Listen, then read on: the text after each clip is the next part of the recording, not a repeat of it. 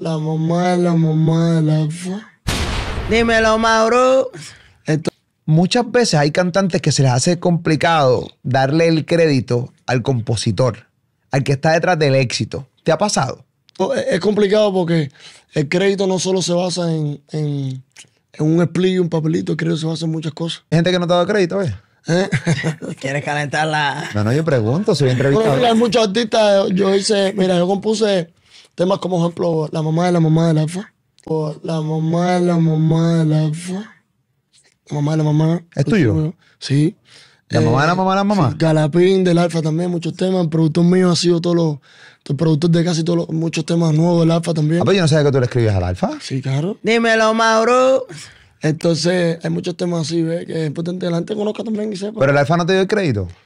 Bueno, sí, nosotros hablamos, pero estamos hoy para ahí esperando que él resuelva ese problema. Pero qué problema. no, lo de, lo, lo- lo de los temas y las cosas, ahí cómo es la cosa. Ah, A veces nos ganamos un Grammy con el Alfa, entonces también. ah, ok, ok. Pero, pero el, el tema, obviamente, tú estás de- en el split y estás ¿En tam- cuál? ¿No? ¿En cuál tema?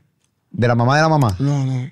¿Tú se lo compusiste? Lo hicimos en Miami con él, claro. La. Y él no te y no, no está. ¿Y quién está como No, compositor? están- ellos están arreglando eso y no sé si ya No, no, pero ¿quién está como compositor de la mamá de la mamá de la mamá? Él, él y su productor. ¿Y él no lo escribió? Ajá. ¿Fuiste No, él tú? no, lo hicimos juntos todo en el estudio, no solo. Ok. No solo él. Pero ¿qué Tampoco. porcentaje es tuyo? Yo no tengo un porcentaje. No, no, no, en el sentido de que qué por ciento tú escribiste de la mamá de la mamá de la mamá. Yo escribí nada más eso. La, la mamá- el, el coro. Lo que tú sabes, lo que tú te sabes.